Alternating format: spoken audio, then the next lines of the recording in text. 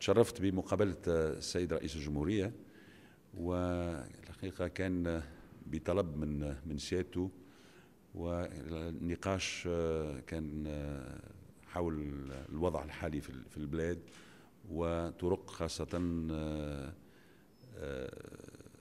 العمل من أجل طمأنة الشعب التونسي وخاصة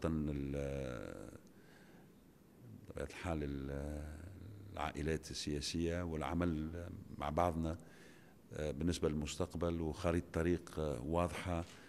ومعناها تبادلنا الآراء في هذا وأعتقد أنه تمشي إيجابي آه، وإن شاء الله معناها في الأيام القادمة يكون فما وفاق وطني حول هذه المسائل بما فيها بطبيعة الحال الانتخابات والدستور إلى غير ذلك. دونك أعتقد أنه تقابل مع رؤساء أحزاب أخرى وهذه مبادرة طيبة أريد أن أثمنها وشكرا.